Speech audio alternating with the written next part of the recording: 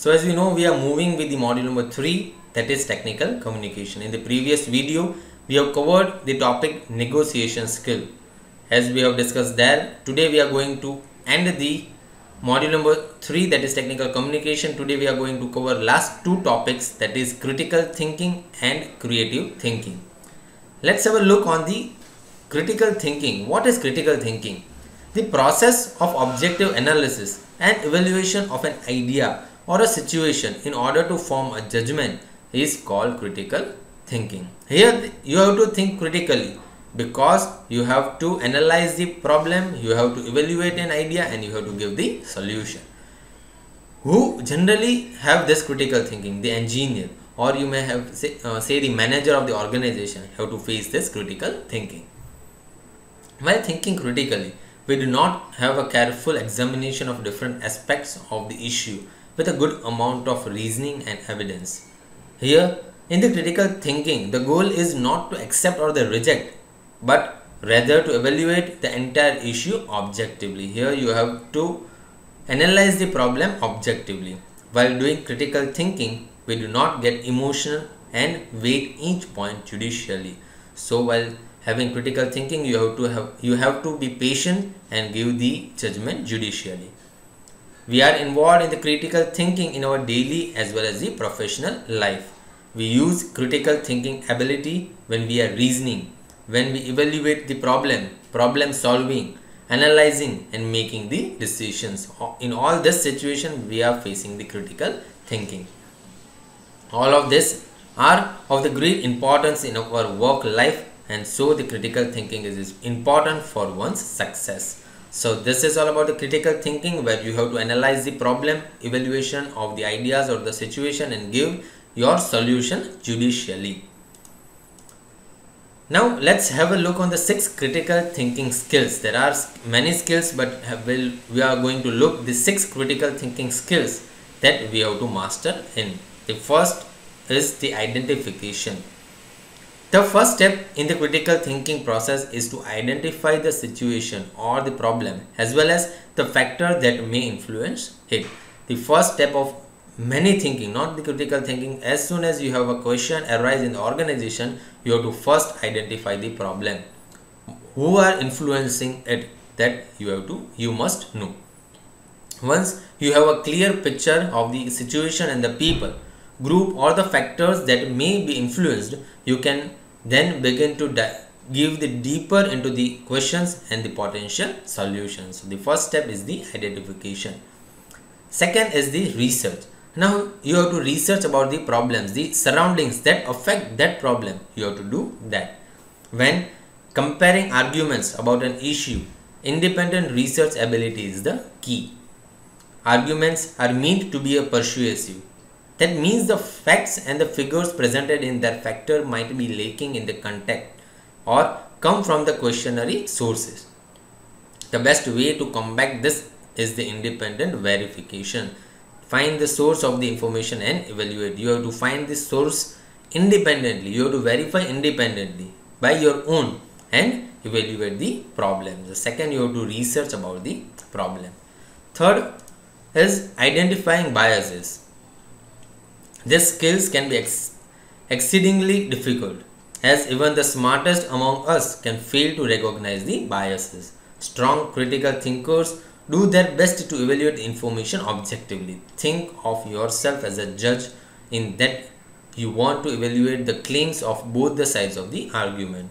But you will also need to keep in mind the biases each side from the processes. So you have to think and it is extremely difficult that to recognize the biases. Fourth is in inference.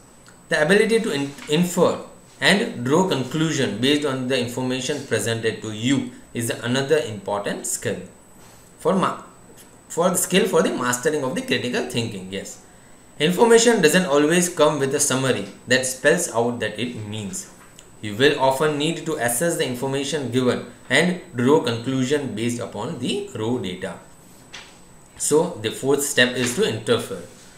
Fifth is determining the relevance.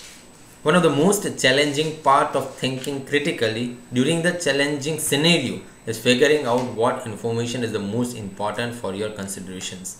In many scenarios, you will be presented with information that may seem important, but it may pan out the only a minor data point to consider. Six is curiosity. It's incredibly easy to sit back and take the everything presented to you at the face value, but that can also be also received for the disaster when faced with a scenario that requires critical thinking. It's true that we are all naturally curious. Just ask to your parents or just ask the small children parents that continuously that what children ask why questions, what questions. These questions they ask frequently. As we get older or as that child get older, it become easier to get in the habit of keeping that impulse to ask the question at B. But that's not a winning approach for the critical thinking. So last point that we have to master in is the curiosity.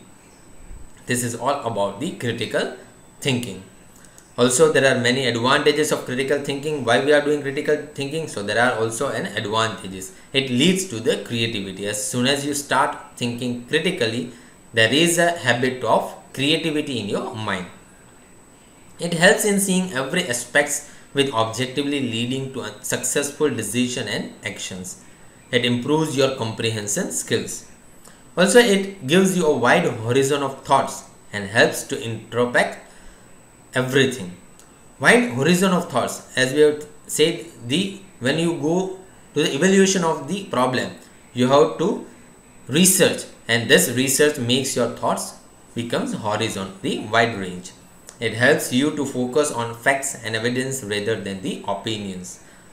It enhances your communication with everyone around you as you are the person who sees things objectively and based on facts. So these are the advantages of the critical thinking. Now let's move to the last topic of the module number 3 that is creative thinking. This phrase we have thought or we have heard that thinking out of the box. This is the first phrase you have to think while thinking about the creative thinking. Thinking out of the box is the mantra for success these days. Being able to think different from other or thinking creatively creativity is very important nowadays. The inventions, innovations and the solution in the world are all product of creative thinking but everyday inventions are not possible. So why everyone needs to think creatively? We have discussed what is creative thinking, but why? Why everyone needs to think creatively? The first step is you have to challenge yourself. Creative thinking means challenging yourself. But let's first understand what is thinking out of the box. What does this box means? This box means the boundary built in our mind beyond which there is unknown, a risk, a fear that no one will agree. This boundary is built due to the various factors. Which are these factors? Means genetic, environment, people around us, and their thoughts, our own experience, and the knowledge that we gain as a student. Where we learn only the thoughts and the inventions of others. Now you have to invent. Where in the student life we are always heard about the inventions of the other all this information makes a boundary now why should we get out of this box why why we have to think out of the box because we have to think creatively and this is only this only makes us out from the crowd. Make sure being creative does not mean being weird but it means thinking divergent. Also how to think creatively. We have discussed what is creative thinking, but how we think this.